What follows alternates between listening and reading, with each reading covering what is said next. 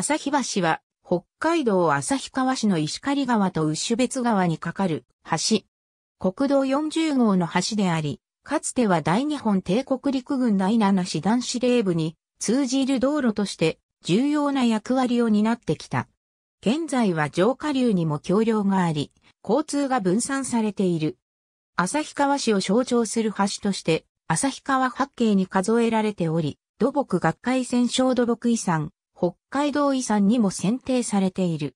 また、豊平橋、ぬさまい橋と並んで、北海道三大名橋と称されたが、現在ではそのうち旭橋のみが架橋当時からの姿を残している。1892年、現在の旭橋の位置に幅1県、長さ50県の土橋が仮設された。1894年には北海道庁が高欄付けの高須橋と名付けた木橋を仮設した。1898年の出水で流出したが、直ちに同型の橋に架け替えられた。初代の旭橋は、1904年に北海道庁義士山岡三郎の設計により架けられた公共で、それ以外の部分は依然として木造であった。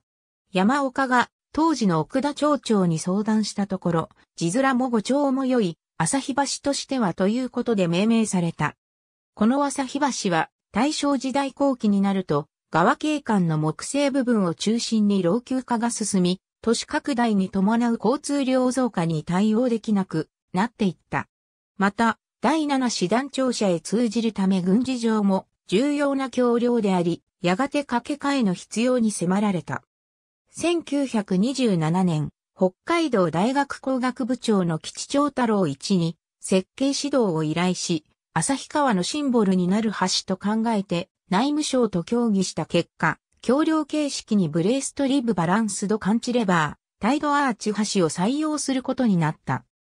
この構造ではトラス状に補強された二重のアーチによって中央景観を大きく取り、そこに生じる下向きの力を両側景観に張り出した肩持ち針を支持する。上向きの力として利用することでバランスを取り、かつ中央景観では桁を張力を負担させ下地、式アーチを構成して支点に生じる。水平力を大幅に減らすことで、橋脚や基礎の構造を簡素化している。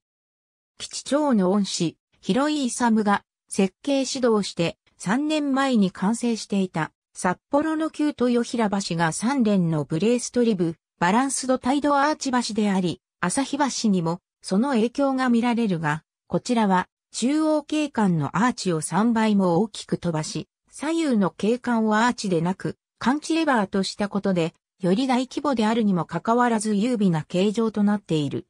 日本国内で同じ形式の橋は、白髭橋、